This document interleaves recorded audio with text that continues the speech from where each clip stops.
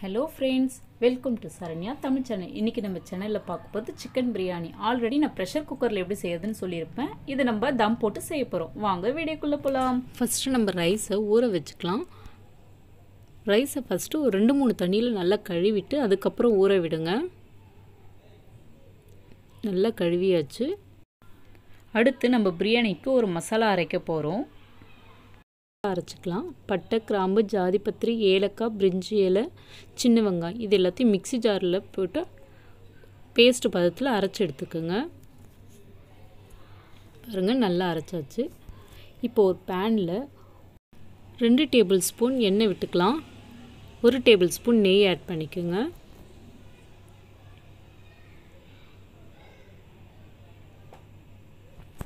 எண்ணெயை நெய்யை நல்லா சூடானதுக்கப்புறம் நம்ம எடுத்து வச்சுருக்க சோம்பு ஏலக்காய் பட்டை கிராம்பு பிரிஞ்சி எல்லாத்தையும் சேர்த்துக்கலாம். நல்லா பொரிஞ்சு வந்ததுக்கப்புறம் வெங்காயத்தை சேர்த்துக்கோங்க.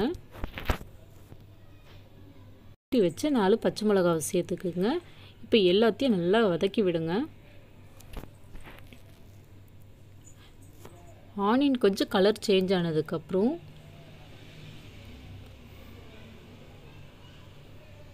நம்ம அரைச்சி வச்சுருக்க அந்த பேஸ்ட்டாக சேர்த்துக்கலாம்.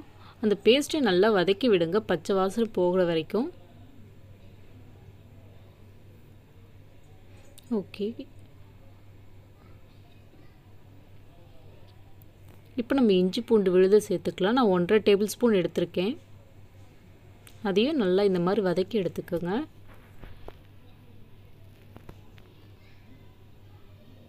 இப்போ கட் பண்ணி வச்சுருக்க தக்காளியை சேர்த்துக்கலாம். தக்காளி ரெண்டு எடுத்திருக்கேன். நல்லா வதக்கி விடுங்க.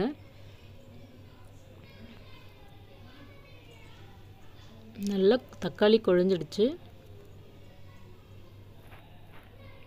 இப்போ தேவையான உப்பு ஒரு டேபிள் ஸ்பூன் சேர்த்துருக்கேன். அரை டேபிள் ஸ்பூன் மஞ்சத்தூள். ஒரு டேபிள் ஸ்பூன் மிளகாய்த்தூள். ஒரு திக்கான தயிர் எடுத்து சேர்த்துருக்கேன். தயிர் நல்லா ஃப்ரெஷ் தயிராக இருக்கணும். இந்த மாதிரி நல்லா கிளறி விடுங்க. மசாலா பார்த்திங்கன்னா நல்லா கிரேவி பதத்துக்கு வரணும். அந்த அளவுக்கு நல்லா கிளறி விட்டுக்கலாம். இப்போ இந்த பதத்துக்கு வந்ததுக்கப்புறம் சிக்கனை சேர்த்துக்குங்க. சிக்கன் நல்லா மஞ்சத்தூள் உப்பு எல்லாம் போட்டு நான் கழுவி வச்சுருக்கேன். ஒரு கையளவு புதினா ஒரு கையளவு கொத்தமல்லி இது ரெண்டாத்தையும் சேர்த்து நல்லா வதக்கி எடுத்துக்கோங்க.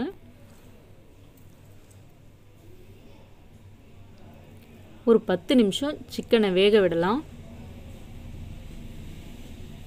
ஓகே பத்து நிமிஷம் ஆகிடுச்சு நம்ம தண்ணி எதுவும் ஊற்றாமலேயே சிக்கனில் நல்லா தண்ணி விட்டுருக்கு.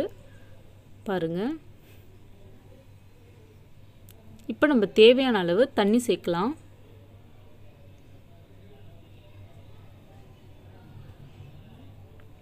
தண்ணி சேர்த்ததும் நல்லா கொதிக்க விடலாம்.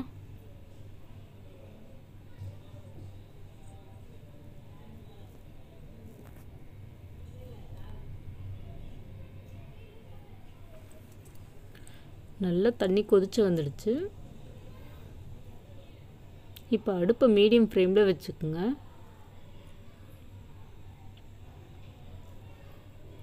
இப்போ நம்ம ரைஸை கழுவி வச்ச ரைஸை ஆட் பண்ணிக்கோங்க. சேர்த்து நல்லா கிளறி விடலாம். ரைஸ் போட்டதுக்கப்புறம் ஒரு மீடியம் ஃப்ளேம்லேயே இருக்கட்டும். ஒரு அஞ்சு நிமிஷம் ஹை ஃப்ளேமில் வச்சு கொதிக்க விடுங்க. அதுக்கப்புறம் மீடியம் ஃப்ளேம் மாற்றிக்கலாம் ஓகே.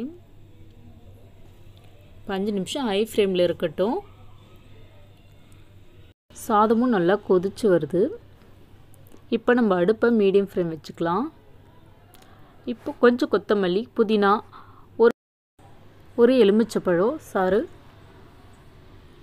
ஒரு டேபிள் ஸ்பூன் நெய்.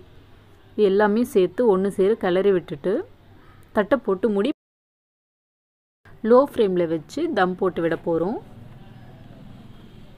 இப்போ லோ ஃப்ளேமில் அடுப்பை வச்சாச்சு. தட்டு போட்டு மூடி மேலே இந்த மாதிரி எதனா ஒரு வெயிட் இருந்தால் வச்சுருங்க. ஒரு பத்துலேருந்து பதினஞ்சு நிமிஷம் அப்படியே இருக்கட்டும். இப்போ பாருங்கள் ரைஸ் நல்லா குக்காகி வந்திருக்கு.